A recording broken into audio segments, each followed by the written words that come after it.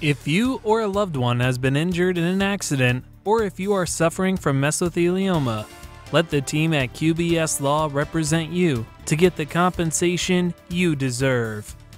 Check out our website for more details.